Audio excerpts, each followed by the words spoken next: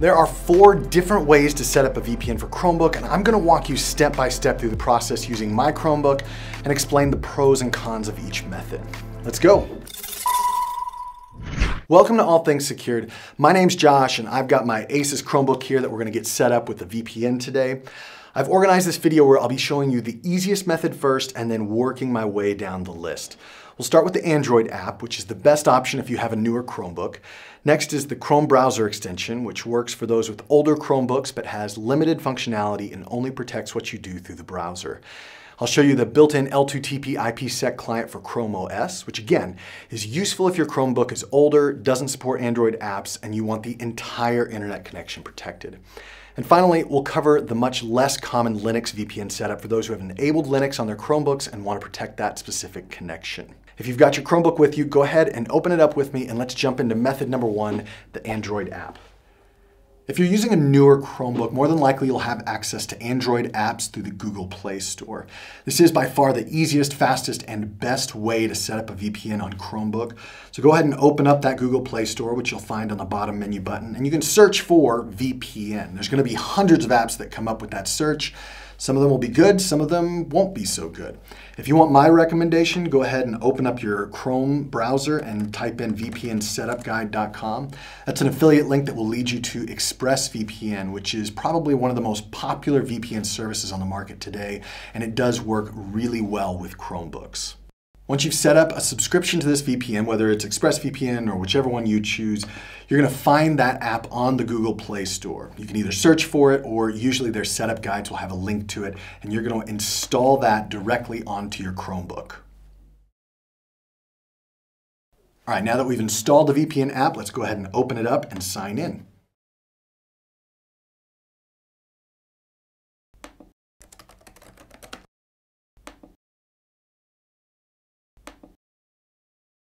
The VPN will usually request that you set up a VPN configuration. All you have to do is press OK, and now you're set up and ready to go. Now, there are a couple very good reasons to use a VPN Android app on your Chromebook. The first is that it encrypts your entire connection, not just what's on your browser. The second is that you've got a lot more options in the settings. So for example, here in ExpressVPN, I can change the protocol between Lightway, which is kind of like WireGuard, and OpenVPN. You can do split tunneling, which allows you to send some traffic, like let's say your Netflix app, through the VPN so you can watch a different library of movies and shows, and then everything else just goes straight to the internet without without being encrypted on the VPN. That's split tunneling. These type of settings won't be available to you in any of the other options that I'm about to show you when it comes to setting up a VPN on your Chromebook. You can see that I'm now connected to the VPN server, which means that everything I do on my Chromebook now, whether that's through the app or through the Chrome browser, is encrypted and sent through that VPN server. And I can even take and close this out and it will remain connected. You can see here on the bottom that the VPN is on and I can even go in here and click on disconnect and it will disconnect to that ExpressVPN connection.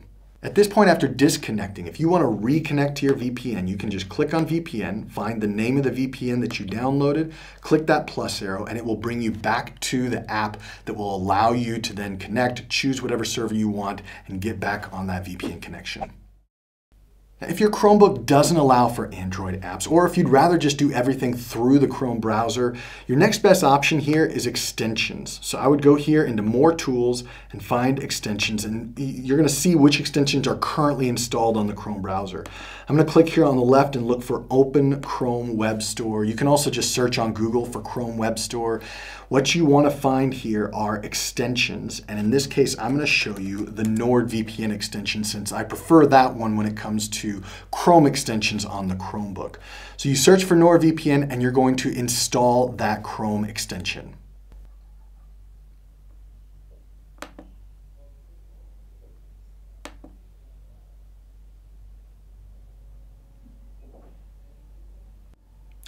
Now that the Chrome extension is installed, you can click here on the upper right, and it's going to allow you to log in with your account.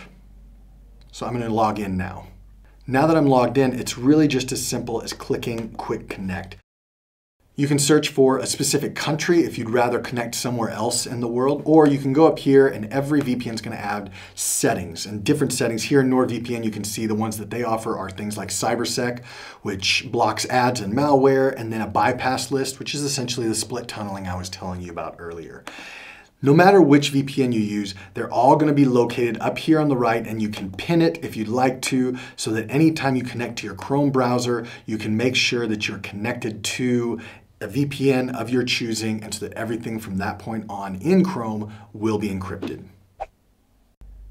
Again, if your Chromebook doesn't allow for Android apps and you don't want to use a Chrome extension because you'd still like to encrypt the entire connection for your Chromebook, the next best option is a manual native setup of the OpenVPN L2TP protocol.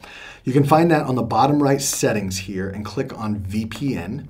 You're going to see OpenVPN L2TP, click on that plus arrow, and they're going to have three options for you, two different L2TP connections and one OpenVPN. But I want to let you know right now, ahead of time, that as much as I'd like to help you set up an OpenVPN connection, most services, most VPN services that you're using won't allow for that. And the reason is they're going to give you a .ovpn file to download and upload but Chromebook doesn't accept those. They want you to set up a certificate. They want to give all of this information. So unless you have an IT person helping you set up your OpenVPN protocol, it's probably not going to work between your Chromebook and most commercial VPNs. In that case, you're gonna wanna choose the L2TP with a pre-shared key. And this isn't the most secure way to connect to a VPN, I'll admit. A pre-shared key is generally thought to be unsecure. However, if this is your only option, it's your only option. So I'm going to show you how to set up this L2TP with my ExpressVPN account. If I go in, I'm going to be looking for the manual configuration. And under that manual configuration, I'm looking for L2TP. Some VPNs don't offer L2TP just because it isn't the most secure way to connect.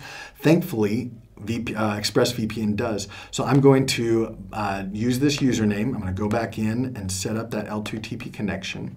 I can choose whatever um, server I want. So let's say I copy this uh, New York server. So I'm going to paste that in the host name. I'm just going to call this ExpressVPN New York. It's not going to be an open VPN connection. It's going to be the pre-shared key.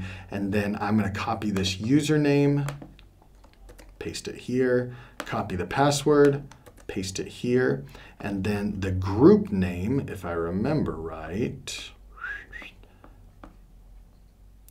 excuse me, the pre-shared key, one, two, three, four, five, six, seven, eight.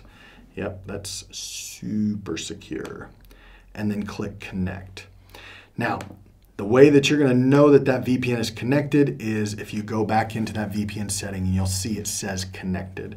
So you can disconnect to that, disconnect from that easily, and then you can reconnect just by clicking on that. So it's easy to set up multiple uh, server locations all around the world if you want, and then choose and connect to the ones that you want to connect to uh, just here on your settings native within the Chromebook.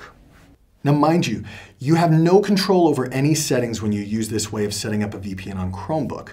You can't change, you can't do split tunneling, you can't change your protocol. It is set as it is. So the only thing you'll be able to change are the server locations here on the VPN settings. All right, this final option is for those of you that have set up the Linux app on your Chromebook. I wanna make sure you understand everything that we've done prior to this, the Android app, the extension, the manual setup, those VPN connections do not cover anything that you do on your Linux app. And likewise, any VPN setup you do on your Linux app will not cover anything else on your Chromebook. These are two very separate VPN connections. So if you're using Linux and you want to set up a VPN, you're going to have to do this. It's honestly beyond the scope of this video just because there are a number of different ways that you can do it. There are VPN apps for Linux. Most is done via command line though. And so if you know Linux, you should be able to set it up. You can see that I've done that here with NordVPN. However, if you don't use Linux or if you're not sure exactly what I'm talking about, you completely disregard this. Use one of the other three options that I've already shared with you to set up a VPN for your Chromebook. Well, congratulations on connecting your Chromebook to a VPN. If you have any questions whatsoever, leave them in the comments below this video. I'll do my best to respond. Now that you're up and running with a VPN, be sure to watch some of my other privacy-related videos uh, that will help you secure your Facebook account, your passwords, and other important aspects of your online life. Stay safe.